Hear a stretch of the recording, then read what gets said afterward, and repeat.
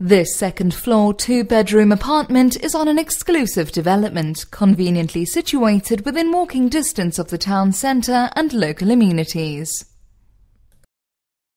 The entrance hall has a video phone entry system and leads through to the sitting room which has a Juliet balcony. The kitchen breakfast room has a good range of units incorporating granite work surfaces, built-in oven and hob and integrated fridge freezer and dishwasher. The apartment benefits from a three-piece ensuite with a shower cubicle to the master bedroom as well as a three-piece family bathroom. There are two good-sized double bedrooms with a built-in wardrobe to the second bedroom. The bedrooms and the other accommodation are carpeted.